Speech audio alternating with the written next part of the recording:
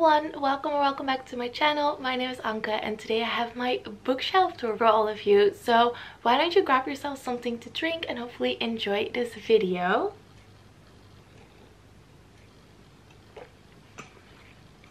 So I am so excited to do my 2022 bookshelf tour because this is actually the third year I'm doing a bookshelf tour and I just love looking back on the old videos and see how much shelves have changed over the years Plus, I absolutely love watching other people's bookshelf tours. It's one of my favorite things. I just feel like it's such a fun way to get to know a little bit about someone. Plus, like getting ideas for my own shelves and just getting some reading inspiration, things like that. But before I get into these shelves, I actually have my TBR shelf at my boyfriend's place. So I will show a picture here. And the reason I have it at his house is because I do pretty much all of my physical reading on the weekends and I would keep dragging back and forth my entire TBR pretty much because I'm a mood reader every single weekend.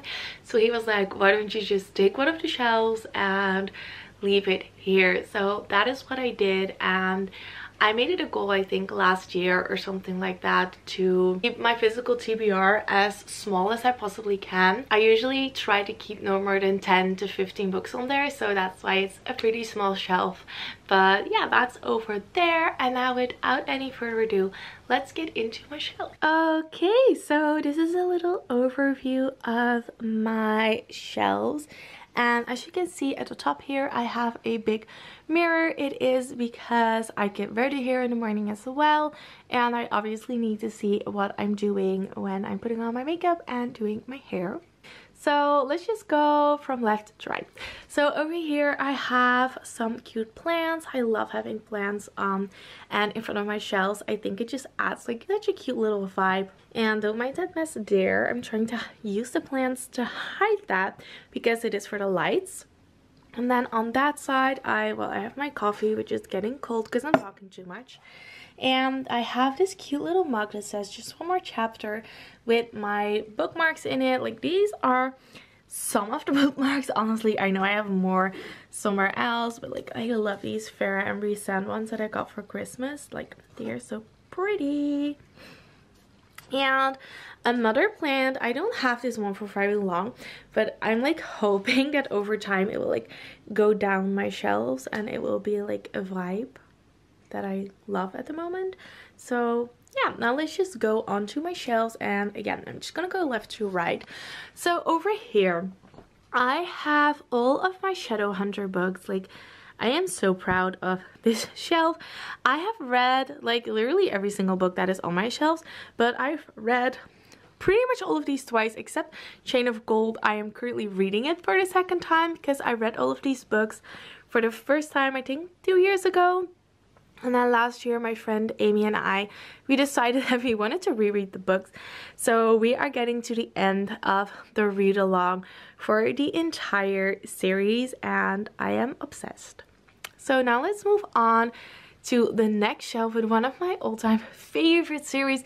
It is the A Good Girl's Guide to Murder series by Holly Jackson.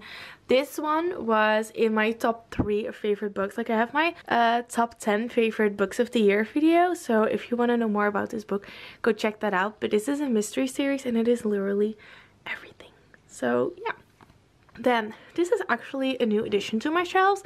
I made this a little while ago and I do have a reel on Instagram on how I made this. But over the past three years, I kept track of all of the books that I read on Goodreads. And I used that to print out every single book that I read and I put it in a jar. So this is literally all of the books I read over the past three years. And I thought that was such a fun, cute, like decorational idea for my shelves and then I have some cute Gilmore Girls related candles from the Little Bookish Company.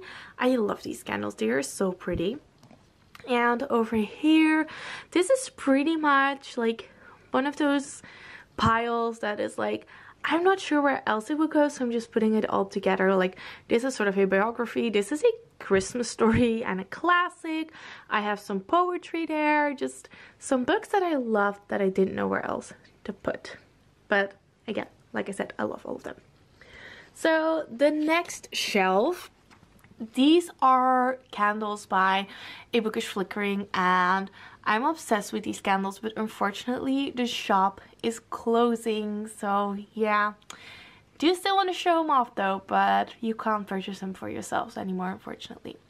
And behind there I have a card of the Grishaverse and let's just take it out for a second because it is so pretty.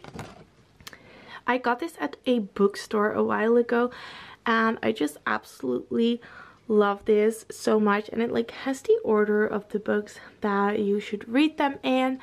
I love this map and yes I am realizing it is on the wrong shelves because here I have Chain of Gold and Chain of Iron the Waterstone special editions from Cassandra Clare like they go with those books but unfortunately I don't have any other spot on my shelves where I could possibly put this map and since I love this map so much it, it needed to be shown on my shelves so yeah now we move on to some classics. These are the Wordsworth special editions and like these are just so gorgeous. I mean, look at these books and they all have like a quote from that specific book on the back. Like I love them and I have these four here and I actually have Emma by Jane Austen on my TBR as well.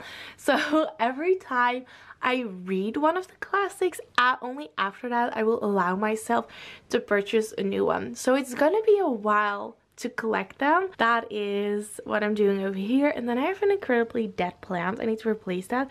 But isn't it like such a cute idea to have like that cute little teacup. It's, it's such a vibe with the classic books, so it needs a new plant, but I still love the idea.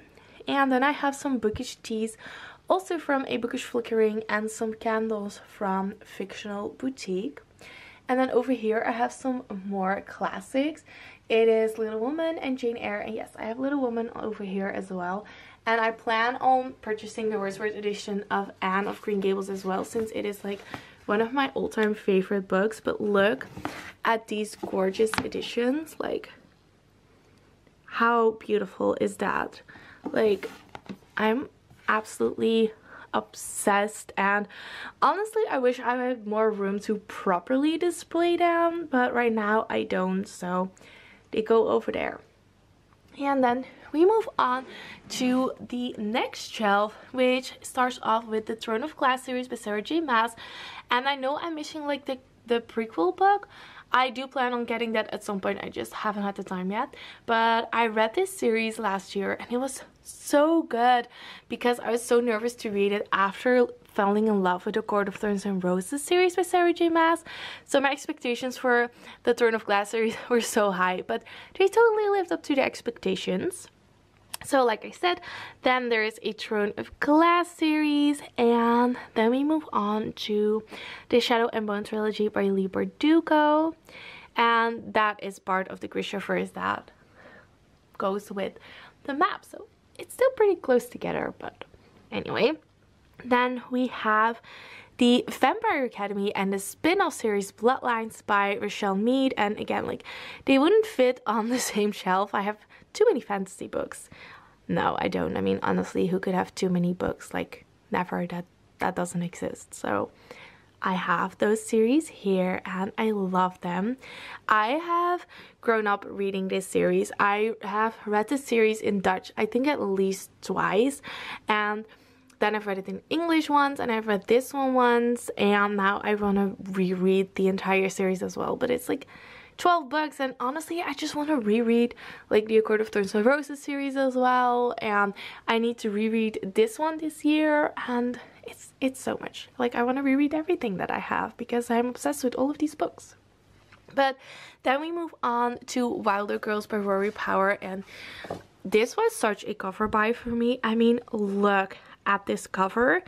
It is so gorgeous. Like honestly i want to get my hair cut like this girl. It is so stunning. I i just i'm obsessed with this cover and i really really like this book but i have heard many people who don't like it because it, it, it's a required taste And then I have Six of Crows and Crooked Kingdom by Leigh Bardugo, which also takes place in the Grishaverse. So it is like these books were their first and then you had these books and it like it takes place in the same world but different characters. This is what the Shadow and Bone TV show is based on, the combination of these books and these books and it is just so good. I honestly can't wait for season 2.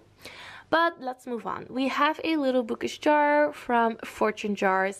I should start opening these stars because they hold beautiful bookish quotes but I just like the look of the stars too much that I haven't really done that yet. And then we got on to some like romance and contemporary books. Like this is a series by Jenna Evans Welch and it has such beautiful summery romance contemporary vibes. All books do follow different characters but they do have the same vibes. That's how they are connected. And then we have the To All the Boys I've Loved Before series by Jenny Han, which has also been made into movies. And I really, really, really like the movies as well. I think they did such a great job, even though they missed a few marks when the second book came around. But I still really enjoyed it though. And then we get to The Switch by Beth O'Leary, which was one of my favorite books from last year. The Summer I Turned Pretty by Jenny Han, which was actually a traveling book. Let me show you. So it got sent around to a bunch of different people and then you write in the book while you're reading it. So everyone has like their own color and that way you can all share your thoughts and feelings while reading this book. So these are all of the people that have read it and I still need to like reread this one with everybody's comments in them so I'm really excited to hopefully do that someday soon. And then there's The Flatshare which was also in my top 10 of favorite books of last year and I have Daisy Jones and the Six by Taylor Jenkins Reid, which was one of my favorite books of the year before that, and The Seven Husbands of Evelyn Hugo by Taylor Jenkins Reid, which was my favorite read of 2021. Honestly, if you haven't seen my top 10 favorite books of 2021, go watch that video because I, like, honestly, I read so many amazing books last year. So, like, this has, like, so many favorites. I love that part of my shelves. Like, honestly, I love every part of my shelves. And then we already move on to the last part, starting off with the Cruel Prince series by Holly Black. So, for that one, I have read this one, but honestly, the world building, I had some trouble with it. And I did like the story, so I really feel like I should make it a priority to reread those books soon because I feel like then I will so much better understand them. And one other thing, like, first of all, the cover is gorgeous, but the naked cover of these books, I mean, just look at that gold foiling. It is so freaking beautiful. But yeah, then we go on to Peter and Pan, which is a prequel story and The Ballad of Songbirds and Snakes by Suzanne Collins, which is a prequel story to The Hunger Games. I grew up reading The Hunger Games and I absolutely loved those books. So I had such high expectations for this one and it 100% lived up to it. I loved it so much. And then I have the Six of Crows and Crooked Kingdom special editions. I loved those books and I can honestly say those books really, really dragged me back into reading fantasy books because even though you can see the Twilight series over there, which I loved reading when I was a teenager, I've read those books so many times. Well, honestly, I read them in Dutch and I got the hardcover English versions like two years ago, I think, when um, Midnight Sun came out. And these are just, I grew up reading them, but I stopped reading for a few years and these books got me back into fantasy. So, love those books. They have very special meaning. And then we move on to Ninth House by Leigh Bardugo, which I love. And there is supposed to be a second book, but like there is no release date or anything yet. So I'm kind of worried it might never happen, but I would really like to see where this story continues. And then we have King of Scars by Leigh Bardugo, which is also, look how pretty this is. it is so freaking stunning and I actually have Rule of Wolves which is book two and I have it on my TBR since last March I think and I still haven't read it so I should be really embarrassed by that so yeah. Let's just move on to the next books which is Under the Never Sky and the Evernight by Victoria Rossi. They are like kind of post-apocalyptic books and I still need to read the third book but I really enjoyed reading these books. And The House in the Cerulean Sea by TJ Klune. I read this one last week and it was a gift from my friend Amy because she actually had two copies. And I was like, oh, I'm gonna read it. It sounds like a like a fun story, but honestly, I am obsessed with this book. It was so so freaking good. It is such a beautiful, heartfelt story. There is so much magic in it. I love it. I can really recommend that one. Honestly, I can recommend everything that's on my shelf since are, these are all favorite books of mine because I only keep the books that are four stars or above if I didn't really like them unless they are part of a series because there are some series where I, for example, didn't like one of the books as much, but since it is part of the series and I did like the series, I obviously am gonna keep that book. But other than that, all of these books are four stars or five star reads, and the books that I just like, I don't, I'm not sure if I'm ever gonna reread them, I sell those. So let's continue. The Dutch version of A Court of Silver Flames by Sarah J Maas, I still want to get the English version as well and then we move on to, like, honestly, these graphic novels are so cute. Heartstopper Volume 1 and 2 by Alice Oseman. And look at these drawings. They are literally everything.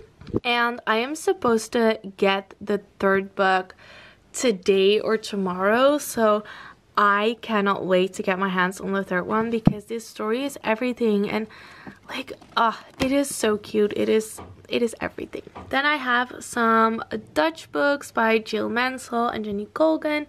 And like this is kind of a mismatch because I have this Christmas book The Holiday Switch by Tish Marcello. And well this isn't a Christmas book. It's Fangirl by Rainbow Rowell. And this is a Christmas book again. Window Shopping by Tessa Bailey but I kind of decided to go by color. I didn't really know where to put these books, so they just ended up all together. but yeah, I really enjoyed those. And then we have Atomic Habits by James Clear. This is a sort of self-help book on how to make changes into your life. And I read this last year. And it was the very first time I started highlighting a book because I wanted to highlight some of the parts that really stood out to me that I found incredibly helpful. So I did that throughout this book. And honestly, I feel like I should reread this one soon because I feel like this is such a great book to start off a new year with because it's always like the new, new Year's resolutions and things like that. So yeah, I really, really enjoyed that one. And then we go over to some contemporary romance hardcovers, which are these three by Kasie West. Kasie West is such a summer contemporary writer. I absolutely love her books. I'm obsessed. I'm pretty sure I have three or four Kasie Wests on my TBR right now, like on my physical TBR, waiting for me to pick them up, but I'm gonna wait until spring to read those. And then I have You Have a Match by Emma Lord, and this is honestly the perfect book if you grew up loving The Parent Trap the way I did because I loved The Parent Trap and this book has those vibes. I really, really love this one. And then we have Since You've Been Gone by Morgan Matson. I really, really need to pick up more of her books because I loved this one so much and I really want to buy more for spring and summer. So then we have some books by Karen M. McManus. She is also kind of a mystery writer and her books have somewhat of the same vibes as the one from Holly Jackson but honestly this series is like everything and these books are just really really liked but it's still really good though and I actually have one of her books in Dutch on my shelves waiting to be read and then we end these shelves with a Study in Charlotte series by Brittany Cavallaro. I love, love that series. We follow the descendants of Holmes and Watson and it's just such a like fun YA series to read. I absolutely love it and I have the fourth book just waiting for me to pick it up. So that is actually it for these shelves. I am actually currently very happy with my shelves. I do have my eyes set on some absolute dream shelves but i need to wait to purchase those until i move out of my parents house again. But i really really hope you enjoyed watching my bookshelf tour. If you did please consider liking this video and maybe subscribing to my channel. It would mean a lot to me. And then i will talk to all of you in my next video. Bye